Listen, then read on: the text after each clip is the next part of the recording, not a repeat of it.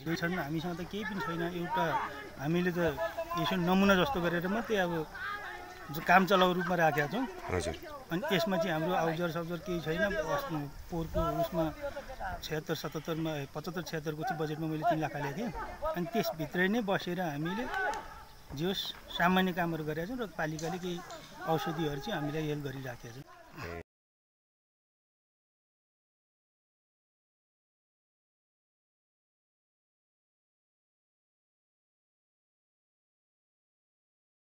साठी र सत्र।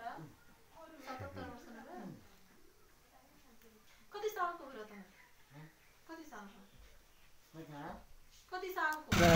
हामीलाई चाहिँ अब यहाँ भइदिएको भए अब टाढाबाट आउनेहरूलाई पनि जुन हामीले यहाँ मध्यमार्गी खुलाएको छौँ अनि हस्पिटलै भइसकेपछि त हामी रुन्देलदेखि भुजीदेखिको मान्छेहरूले हामी एक डेढ घन्टाभित्र यहाँ ल्याउनु सकिने वातावरण चाहिँ मिलाउने प्रयास हुँदैछ। बाटो हाम्रो गाउँपालिकाभित्र एउटा पन्ध्र सय भन्ने अब हस्पिटल पर्छ भन्ने कुरो हो।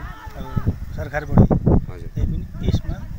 यहाँ सितारा पनि नेपाल र हाम्रो स्थानीय सरकार मिलेर चाहिँ बन्यो भने झन् अति राम्रो।